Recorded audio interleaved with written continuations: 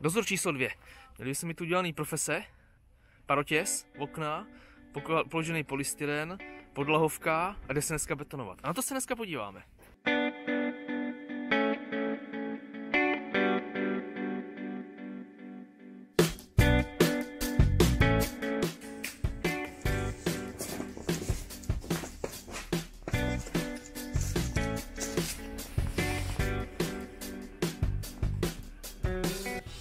Šaháme si šrouby, které jdou skrz tohle, si projdou OSB desku a poruší parotěz. Neporuší. Dobře, to je udělaný. Dobře. Dva okruhy v obejváku, jeden v kuchyni, kuchyně vynechaná. V komoře nic, to je správný. Dilatace udělaná velice dobře. To je ten neštěstí, že jo. Sádro vždycky půjde vždycky půjde po beton, čili akusticky to je špatně, ale tohle je spíš takový už bonus, že se jim to nedostává do příčky. Vys, minulá realizace. A ta pohádka je pěkná. Jo, dilatační návlaky, na, dilatační návlaky v místnostech. Pěkný, pěkný.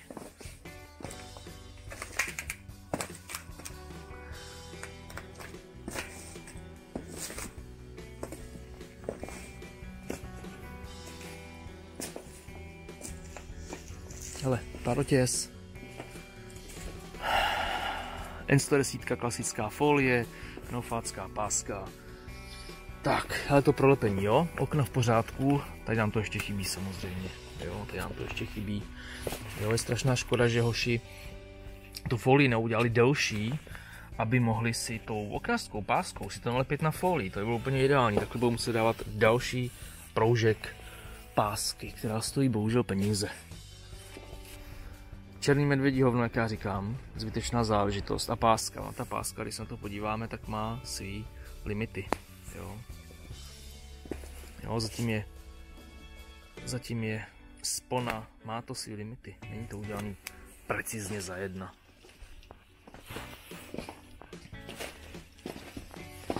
Hlavní závěr vody tady. Tady nám přichází klima.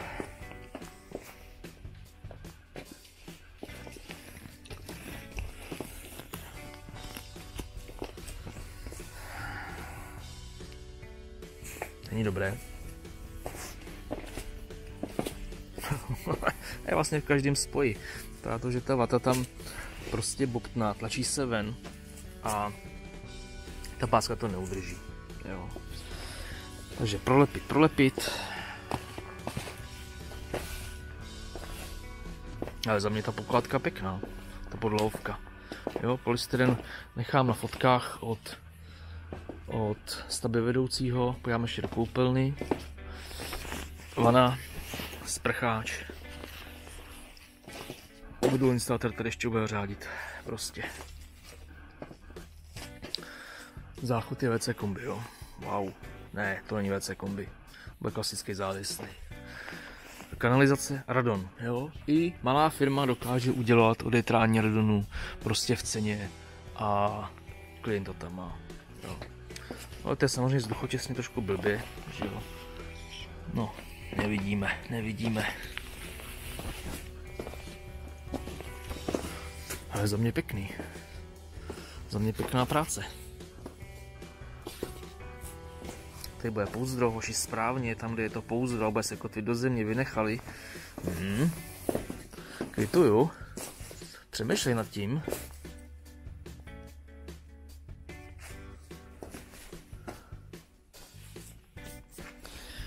Jak se tady řeší hydro? Hydro se vytáhne, tady PVC a vytáhne se nahoru. Vždycky jsou problematické ty rohy, jo, takže tam je ideálně prostě dělat to. Uh, jo, oni to hoši tady napojovali ještě, já už to vidím, já už to vidím. Jo, geoška a je ten pruh je napojený. Jo, čili je udělaná takzvaná vana. Jo, což je svým způsobem dobře. Na druhou stranu, jak si říkám, že to je špatně, protože vám praskla voda v domě, nikdy se nedostane ven. Jo? Nikdy se nedostane ven, vždycky bude schovaná v tom domě. Nezapomínejme, že tady je ten základový práh náš, jo, dřevěný. A to je prostě problém. Jo? Ten základový práh prostě dostane na frak, je v permanentně ponořený ve vodě a to je konečná. Jo? To je prostě konečná. Jo, hoši si uh, odšalovali. Máme tady připravenou vodu, dva kubíky. Jo, nezmrzli to.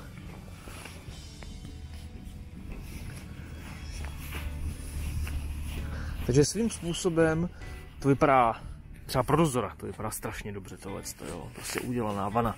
Na druhou stranu, jak říkám, kdyby vytekla voda v domě, je to konečná, jo, to je, je to špatně, jo.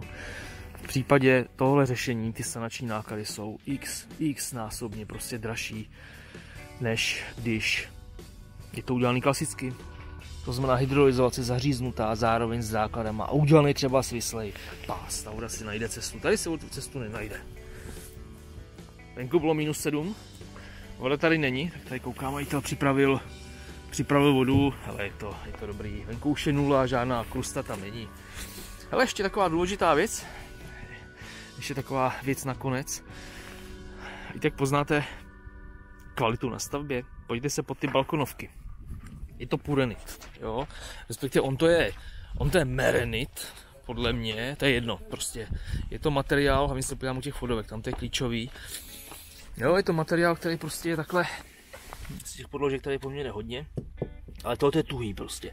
Tohle je tuhý, pevný, toto se nikdy nepromáčkne. Jo. Jsou dvě možnosti, vždycky použít ten materiál, nebo tady použít dřevo, jenže to dřevo je vždycky utopený, toto se dokáže prověsit, je to napitel. Purenit, za jedna, chválím. Za mě. Je to dobře. Není to výborně, jo, pojďme postupně. Střecha naprosto v pořádku. Okna osazení i s vnějšíma páskama. Velice pěkně, to bych nečekal. Uh, položený polystyreny jsem neviděl, ty uvidím maximálně podle fotek. Podlohovka naopak, za jedna, pěkná práce, jo, precizní, nic tam nechybí, jsem spokojen. Dilatace, taky, bez problémů. No a pak už to takový trošičku uh, okna, prolepení, páskama z vnitřku i z vnějšku, to z vnějšku bych nedával, jsou podle mě vyhozený peníze. E, opět, velice dobře. E, vodu hotovou nemáme, respektive tak částečně na hrubou elektriku vůbec. E, viděli jste ty příčky, jo, je to prostě e, malost firmy, respektive za dobrou cenu uh, musíte vždycky něco oželet. Jo? Ty sádrokartony, které nebudou nikdy spuštěný pod tu úroveň betonu, to znamená, ta akustika tam bude bohužel probíhat úplně na levačku. Protože když se udělá beton, tak sádroš nemůže přijít na beton, tam zase tam musí být malá dilatace mezi betonem a sádrošem. Takže ta akustika tady bude trošku probíhat víc. Bohužel. Malost firmy. Ale jak já říkám, za dobrou cenu vždycky člověk musí něco oželet. Co dále? Viděli jsme, pod balkonovkama a vchodovkama. Je tam prostě pudenit, jo? Chválím, to i velké firmy. A klidně bych že i dvojka, trojka na trhu tohoto nedělají. Ušetří na vás, jo? Ten pitomý pudenit u těch balkonovek, ten bude stát možná tisícovku, u těch chodovek bude stát šestovek. Jo, hold, i velké firmy šetří, jo? Takže to zase palec nahoru. Uh, co je zajímavý, borci si teďka tady laserem v baráku eh, měří, měří výšky a standardně se vždycky dělá 5 až 6 cm betonu. Tady vychází 10. Jo, za A. Trošku není rovná deska, ale hlavně hoši mají špatně udělaný spíš životory. A pozor, to se počítá 3 cm pod vchodovkama. Takže beton bude 3 cm, 3 cm pod křídlem, čemu se dává 2, ale budíš. A stejně tam vyběhne 10 cm betonu. Jo? To je úplně neskutečný. Toto všechno samozřejmě platí firma, jo? protože každý betonář vždycky dělá ve standardu 6 cm. Každý centimetr navíc už je prostě, už je prostě příplatek. Jo? Čili tady je 10 cm v průměru a co mi tady říkal tady rozkreslovač, říkal, jo, to ty, ty firmy je normální. Jo? Takže hochům tady trošku něco utíká. Jo? E, jestliže se tady bavíme třeba plásnu o 100 metrech čtverečných, jo, tak těch ty 4 cm navíc, jo, tady možná 80 tisíc prostě vyleze. A jelikož tady bude potřeba tolik betonu, tak rozhodně ty dva kubíky, ty vody, které tam jsou připraveny za barákem, rozhodně stačit nebudou. Ajajajajaj, vedoucí standardně nebývá u betonáže, takže hoši tady trošku krčí ramenama.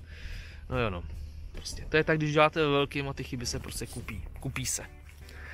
Hele, za mě dneska spíš spokojenost než, spoko- než nespokojenost. Jo? Odcházím spokojen, chybky to má, ale nejsou to nic zásadního a je vidět, že ta práce tam je dobrá. Jo, bude to chtít trošku víc poladit ty parotěsy, přelepit to u oknu, dodělat profese a hurá dál.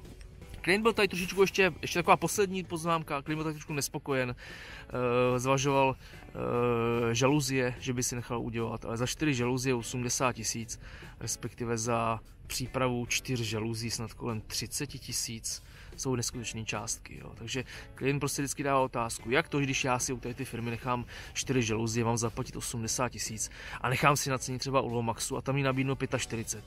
Kde je ten rozdíl? Nikde. Jo, je to prostě marže firmy. Takže v tomhle to mi klient nespokojen, jo, že za, na více pracech jsou neskutečný případky.